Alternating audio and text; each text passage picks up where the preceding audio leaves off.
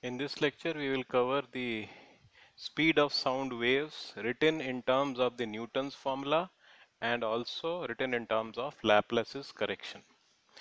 We have derived in the previous lecture that the speed of sound wave can be written as b upon rho where b is the bulk modulus of the medium in which the sound wave is traveling and we also know v is equal to omega upon k and we also have seen in the previous lecture that displacement at any point is shown as sine omega t minus kx and pressure variation. This is pressure variation not pressure. This is pressure variation. This is maximum pressure variation is written as cos omega t minus kx. And it is important to note that they are out of phase by pi by 2 so when this is 0 this is maximum. And this is maximum this is 0 and this is I again repeat is pressure variation not the pressure. And the wave is traveling with compression. And these are two compressions.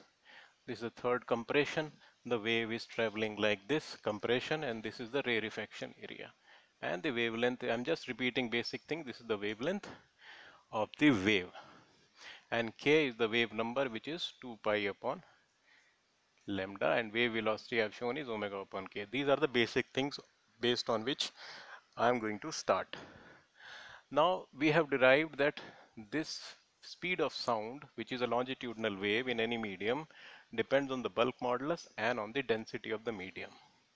Now Newton presumed that when this is moving let us take an element delta x when this is moving in a medium in terms of wave compression and rarefaction.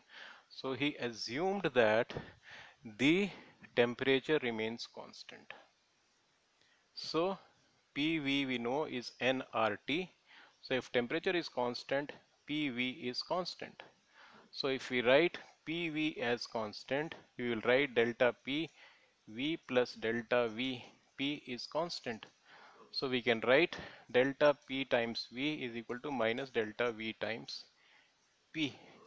So we can write as we know the bulk mod modulus is delta P upon minus delta V upon V. So let us write delta P in terms of delta V upon V. Delta P upon minus delta V upon V becomes P. So we can write B as P with the Newton's formula. So we get the speed of sound when Newton's formula is applied as P upon rho.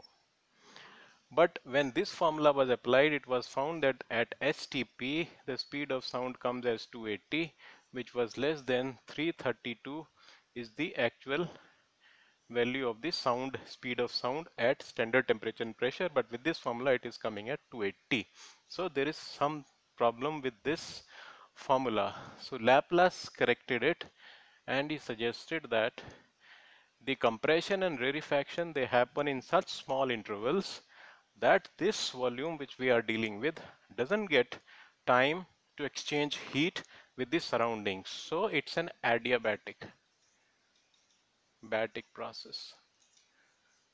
And we know for adiabatic process PV raised to power gamma is constant.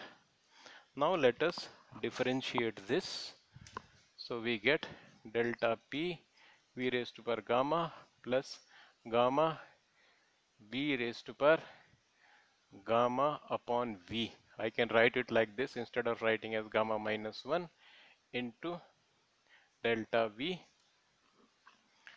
into P as 0.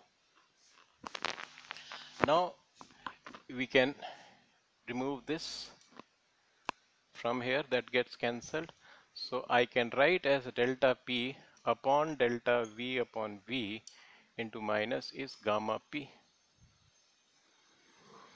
And we know that the bulk modulus is delta P upon minus delta V upon V so bulk modulus is to be replaced by gamma p and not by p. So with the Laplace correction, the velocity of sound wave comes as gamma p upon rho. So this is the Laplace correction. This is the Newton's formula.